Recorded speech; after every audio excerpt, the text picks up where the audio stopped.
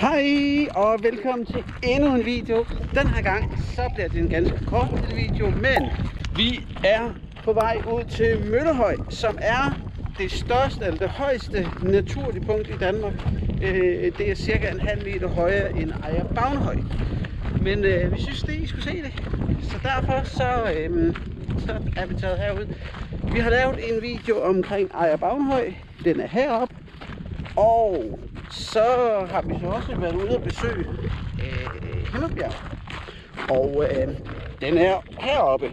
Så klik på den, hvis I vil gerne vil se det. Men øh, nu er vi på vej ud til Møllehøj. Følg med. Ja, kom, vi skal komme her. Hov, der kommer du.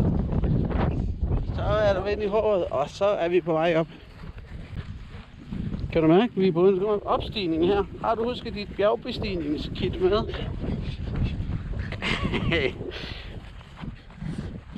Har du en isøkse? Det er så godt. Det er nok Danmarks højst beliggende bondegård, den her. Vi går forbi her. Jeg tror ikke, der er noget, der er højere. Vi tager de sidste skridt. I kan også komme til de sidste skridt op til Danmarks højeste punkt. Yeah! Danmarks højeste punkt, Møllehøj. Skal du op og stå? Skal du op og stå? Ja, men den ligger lidt nede.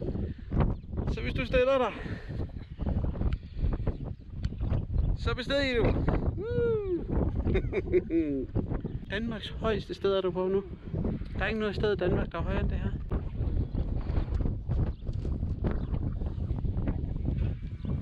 Hvor langt er der ned? Hvor får du ned?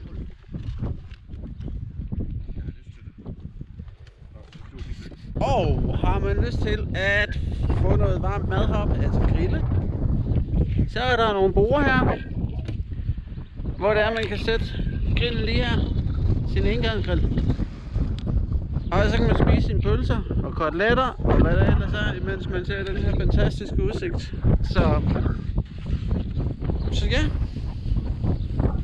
Men øh, fra, vi går lige herhen,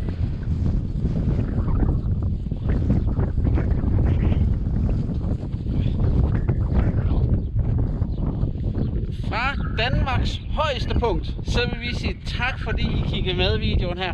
Husk at like, husk at subscribe, husk at abonnere, og skriv gerne en kommentar, så bliver vi mega glade. Det er helt fantastisk. Så, så men tak fordi I kiggede med.